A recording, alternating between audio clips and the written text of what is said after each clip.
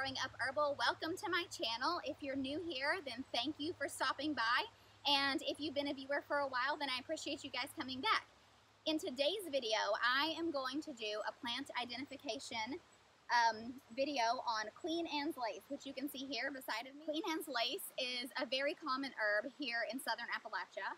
Uh, it grows all over the U.S. It likes poor sandy soil and it is actually a very useful herb. It's an herb I call an herb of antiquity. It was used a long time ago and it's not so much in common use today, but I think that since it's such a prolific herb and it seems to grow everywhere and it has a good amount of uses, I feel like it's one of those herbs we should bring back into modern herbal practice.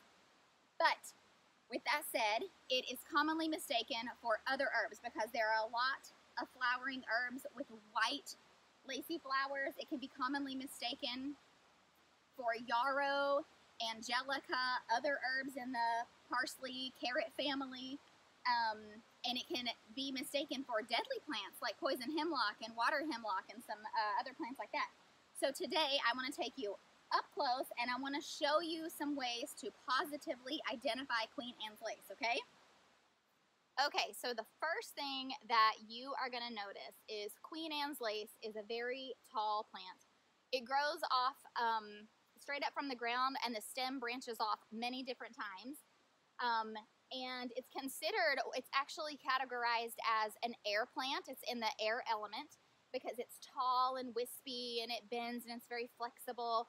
Air plants are typically hairy and Queen Anne's lace is hairy. That is one of the first identifying characteristics is um, this little story or this saying, the queen has hairy legs. So that's one way that you can remember Queen Anne's lace.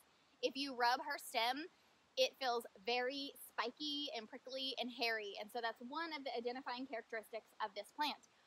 Other plants like yarrow or any of the poison hemlocks, water hemlocks, their stems are smooth. They don't have little spiky hairs. Um, and another thing, when you're looking at the stem, is Queen Anne's lace is typically all green. It doesn't have any other colored markings on the stem. But poison hemlock and water hemlock, they tend to have like purple spotting. Sometimes at the joints, which is where the stem branches off, there'll be a solid purple looking section. Or along the stem, you'll see purple splotches. So those are in a lot of the poisonous plants, but Queen Anne's lace doesn't have that. She has hairy legs, folks, so her stem is real prickly and the other plants typically don't have that. So Queen Anne's lace is named after Queen Anne, who was the wife of King James I, the guy who wrote the 1611 King James Bible, just for some historical fact for you guys. Um, and supposedly she was a very well-known lace maker um, I can't remember what that's called. Tatting lace, I believe is what that's called, where you sew and you make lace. And um, there's a little saying, another little story to help you positively identify Queen Anne's lace, which is flowers named after her, is that while she was tatting lace, she pricked her finger on a needle and left a drop of blood on the lace that she was making. So in a lot of Queen Anne's flowers, you'll see at the very center, there's like a purple or burgundy colored flower. So I'm going to go find one and I'm going to show you so you know exactly what I mean. There are none on this particular plant right here. All right, so here are a couple. So this one, it's very tiny, so I don't know if you guys can see it. Let me see. Can you all see the purple center to the flower? This one you can see it maybe a little better. Let's click the camera so you can focus there. Do you guys see that? It's like a purple little center right there. And that is one way that can help you positively identify Queen Anne's lace from other plants that look similar to it. Anyway, um, it's like yarrow, the poison hemlocks, water hemlocks, any of these, any of the deadly plants, they don't have that little purple flower in the center. Um, another fun little folklore fact that I just learned, because I didn't know this before, was that um, the old timers, people who used to use Queen Anne's lace a lot, would say that if you use the purple burgundy piece in the center of the flower, if you collect a bunch of those and you use them, they can help ease epileptic seizures in people. So I don't know how true that is, but that is an old folk tale about Queen Anne's lace, that the purple center is what is used for epileptic seizures. Okay, so we've talked about the queen has hairy legs. We've talked about her pricking her finger. Um, another thing that I wanted to talk about with identifying Queen Anne's lace is the shape of the flower. So you can see that this flower, it's kind of shaped like an umbrella, right? Like it's kind of rounded, um, like an umbrella. And this is the sign of a newish flower. I'm not going to say immature because this one right here, I would say, would be immature, right? That little tiny thing. But this one is still a young flower because it's shaped like an umbrella. As the plant matures, then the flowers start to flatten out. So you can see with this one, let me grab all three of these so you can see them close up. And queen, let me just also say, Queen Anne's lace is considered to be kind of like an invasive plant, so you're not going to be able to overharvest it. It spreads everywhere. Me find another good one here. And let's see.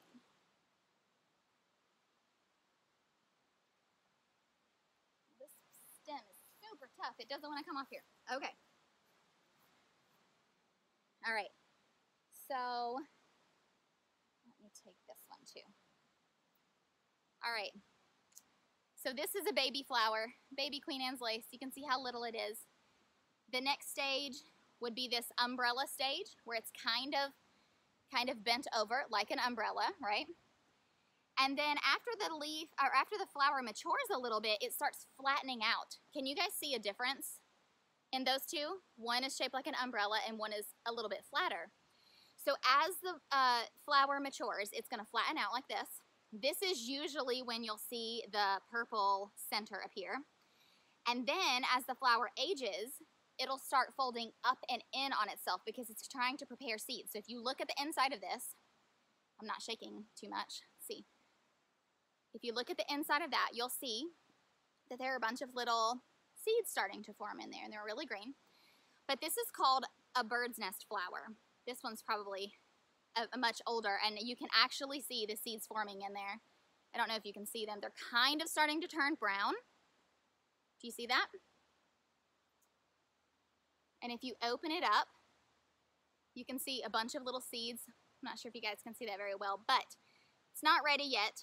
But they'll turn really dark and brown, and I'll show you an old one that's ready to harvest seeds in just a minute. But it goes through these stages from being very young. see if I can put these in order. Can you guys see all of this?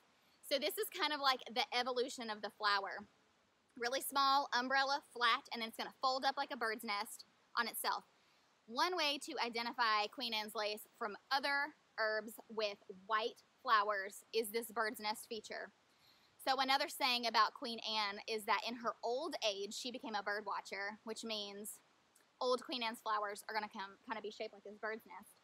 Um, so the queen has hairy legs. She pricked her finger while tatting lace and left a drop of blood in the lace, and she became a bird watcher in her old age. So those are the three fun little sayings and stories about Queen Anne's lace that can help you to remember how to kind of positively identify this plant. Um, if you have questions, it's always a good idea to consult um, a plant identification book or bring someone who is very knowledgeable about correctly identifying Queen Anne's lace.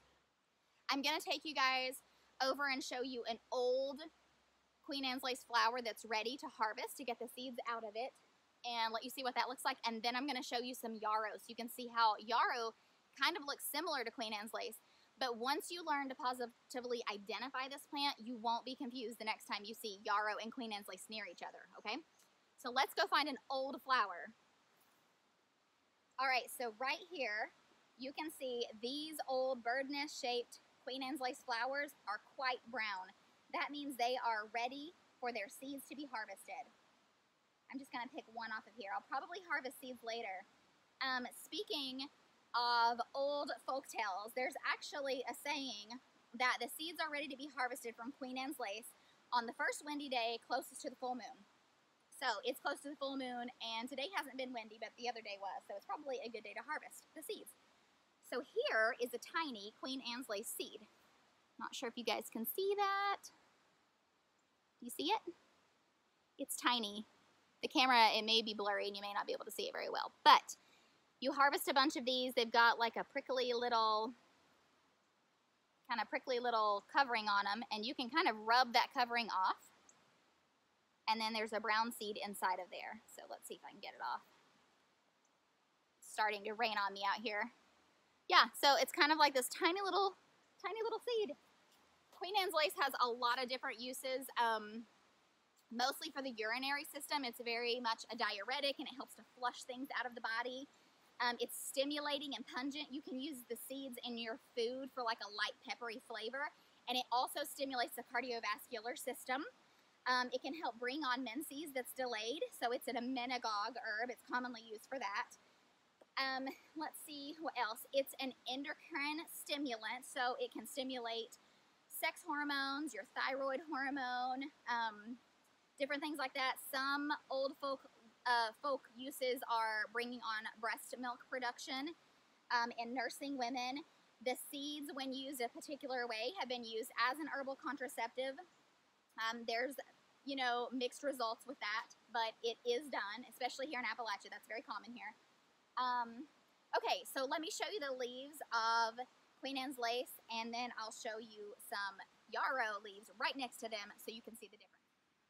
Okay, so I flipped the camera around here and I want to show you this right here is a first year Queen Anne's lace plant. You can see that it's growing straight out of the ground. Uh, so Queen Anne's lace is a biennial herb, which means it takes two years to reach full mature size. This is a first year plant. It's got the stem growing up and we have leaves and it's really trying to establish its root system this year. The following year it will grow up taller and produce flowers and seeds. It'll be a full-size plant, and then it will die, and that'll be it for the plant, two years. Now, you can see right here, we have the Queen Anne's um, parsley-shaped leaves. These are common in parsley family plants. These leaves contain a chemical that can irritate some people's skin. It can cause like contact dermatitis and also photosensitivity after it's been on your skin. Like if you rub it and then your skin can get burnt easily. So you've got to be careful with the fresh plant. Um, it only happens with certain people. Not everybody gets that. But anyway, so here is, are the Queen Anne's lace leaves, and right over here are yarrow leaves. Can you see them? They're much darker. Even the mature Queen Anne's plants, their leaves are still lighter in color than yarrow. Yarrow is like a dark green. And yarrow is a completely different plant family, but you can see the leaves are much more fine looking. They're more feathery compared to Queen Anne's leaves. Her her leaves are flat. They feel flat when you rub them. And then these feel like a feather, sort of. Yeah, so. So this is yarrow. You can see how it has white flowers and they're bunched together, just like the Queen Anne's lace right over there. So yeah, you can see how that could be easy to mistake, right? You're looking here at yarrow and Queen Anne's lace and they both kind of look similar unless you know what you're looking for. So if we come over here to the yarrow, and if I fill the stem, it's smooth. There's nothing hairy on it. I can notice that the leaves are different. The flowers even look a bit different. Let's see if I can focus on those. And there is no purple or burgundy spot in those flowers. So let me hold this Queen Anne's lace close to this, and you can see the difference there. So my camera will focus. So there's yarrow and there's Queen Anne's lace. Quite a difference when you're up close like that, right? Okay, so I just pulled out this big Queen Anne's lace plant out of the ground just so you could see the root. When you pull out one of the first year plants, the root's going to be tiny. It's going to take a lot of them to make a decent meal with their root if you're going to eat it like you would a carrot. So it's kind of white, creamy looking. And it branches off with all these little rootlets. It's considered like a taproot because it grows straight, straight down in the ground. and it smells very much like a carrot. I actually read that if you have cultivated carrots in your garden, and let's just say you forget the garden, you don't do anything more with it, it will eventually, after like, I want to say I read two or three years, it will convert back to a wild carrot. Um, I'm not sure if that's true. That may be an old folk tale too, but I did read that, so I thought that was kind of interesting. Getting stuck on everything. Um, so another way to identify Queen Anne's lace from other lookalikes, especially poisonous ones, is that Queen Anne's lace smells like a carrot, and the poisonous varieties, poison hemlock, water hemlock, they stink. Like they don't smell good. They don't have this carrot smell. Carrot is probably not edible. It's probably quite tough and fibrous. Um, you can use the root, you can use the flower, you can use the leaves, and you can use the seeds of Queen Anne's lace. The root and the leaves and the flowers and the seeds are often used for the urinary, uh, the urinary wellness benefits that we talked about earlier. Um, the seeds are going to be the strong, strongest, and the root's going to be the strongest. That's true for most herbs. The leaves and the flowers typically are not as strong as the harder parts of the plant, uh, like your roots and your seeds. And the root can be grated and used. It kind of has like emollient or softening properties. It can be used on skin wounds. Uh, there are some references to the leaves being soaked in honey, and those used on wounds because, as you know, honey is antibacterial. It's great for wounds. So these leaves can also be useful for that. Um, yeah, so your urinary uses and your wound uses, the root is good for that, and the leaves as well.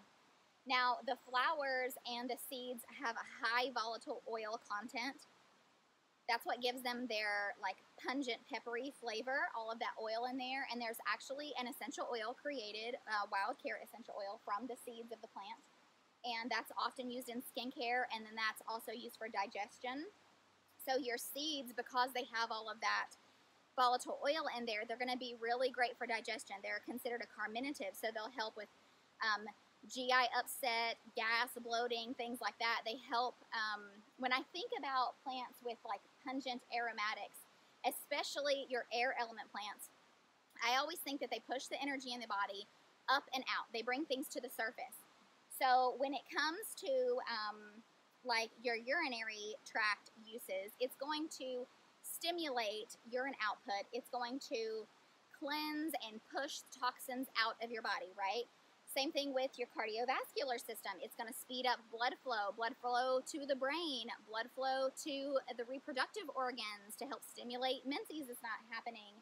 Um, blood flow to all your endocrine organs. So it's just really uh, pushing that up and out. There, um, also with the the high volatile oil content, Queen Anne's lace can be used for um, like the respiratory system. If you have like a nasty chest cold and you have a cough, the volatile oils are like a stimulating expectorant, so they're really good and helpful if you've got a lot of yuck in your chest. Um, they're also going to be antiseptic because most volatile oils have antiseptic properties, so that's going to give them um, some good use on your wound and skincare issues. Or gastrointestinal ulcers, that's also a common use for Queen Anne's lace. Again, a GI uh, digestive uh, system focus there. Um, trying to think of some other things that you can use it for. I know some people with low functioning thyroid have had benefits from using Queen Anne's lace seed. Again, um, it's the pungent dispersive aroma, or, uh, aromatic qualities that help uh, stimulate the endocrine organs. Okay, so I hope you have enjoyed this video on how to identify Queen Anne's lace and some ways to use it and some fun folklore about the plant. Um, if you've enjoyed this video, please give it a thumbs up and leave me a comment below with something new that you learned or if you know something that I didn't mention in this video about Queen Anne's Lace. I'd love that if you shared that with me in a comment um, because I'm always looking to learn more as well. And if you have any suggestions on any other herb uh, identification or herb walk videos that you would like, leave those suggestions in the comments below. I'm always open to hearing what you guys want and what you're thinking. Um, so again, I'm Meagan from Growing Up Herbal. Thank you guys so much for watching this video. Give it a thumbs up, subscribe to my channel, and stay tuned for more herbal identification videos. Have a good day. Bye.